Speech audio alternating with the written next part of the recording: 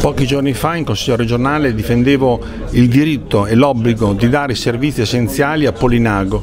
Il wifi a Polinago è fermo da anni, gli ospedali, il punto, il punto nascita di Pavullo non viene, non viene riaperto, sono due facce della stessa medaglia. Abbandonare questi servizi essenziali, le strade, l'ospedale, il punto nascita, il wifi, il, un, centro, un centro, una rete di, di, di commercio efficiente sono tutte facce della stessa medaglia. Se noi vogliamo che la nostra nostra montagna viva, che il Frignano viva, è necessario che chi abita queste zone già disagevoli, soprattutto per i trasporti, basta una nevicata, basta la nebbia, basta una strada con una frana che tutto si blocca, tutte queste famiglie, queste persone, un'intera società ha bisogno di servizi essenziali. Bisogna che non si facciano scelte solamente economiche perché altrimenti con, scelta, con le scelte dei tecnici non si va lontano. Bisogna che il punto nascita di Pavullo venga riaperto in modo da dare un segnale alle famiglie della montagna modenese che qui si può vivere crescere e prosperare.